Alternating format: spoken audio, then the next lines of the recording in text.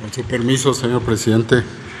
Muy buenos días a todas, a todos ustedes y a quienes nos escuchan por vía remota.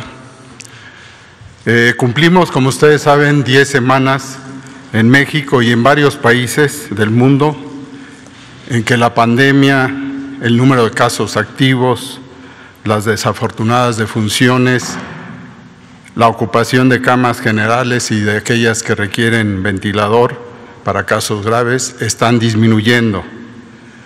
Sin embargo, aprovecho la ocasión nuevamente para hacer un llamado a la población a no confiarse, a no bajar la guardia, mantener las medidas sanitarias para evitar que haya una tercera ola de contagios.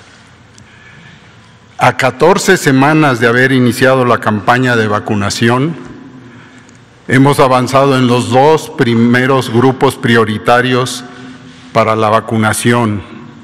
El personal médico que ha estado y sigue al frente de la atención de enfermos COVID y a los adultos mayores. Repito, no hay que confiarnos, pues ya habíamos pasado la primera ola y se pensaba que ya estaba bajo control, que ya el contagio había disminuido y se vino otra ola, afectando, como ustedes saben, no solo a nuestro país. Nuestro gobierno ha estado a la vanguardia en la lucha contra la pandemia del COVID-19. En muchos aspectos, solo resalto algunos, por ejemplo, las pruebas epidemiológicas, las pruebas de inmunología, que han sido pilares, entre otras, muy importantes para conocer el daño que está causando y seguirá, espero que por menos tiempo, el virus SARS-CoV-2. Para valorar el efecto de las vacunas también se están empleando como una herramienta muy importante.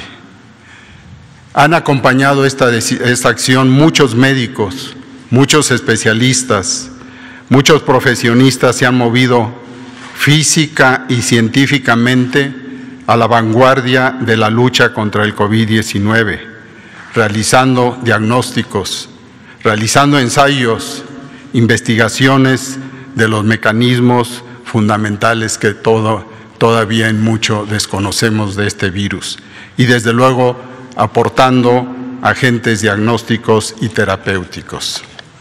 En el pulso de la salud, hoy actualizaremos el informe técnico de la pandemia en nuestro país con mayor detalle de aquellos que están en condiciones de mayor riesgo, que son unos cuantos, en voz del doctor Hugo López Gatel, quien también nos comunicará si se asoma algún estado en, donde se vea peligro de un repunte y en qué forma el gobierno apoyará para prevenirlo y desde luego evitar que esto se vuelva una ola.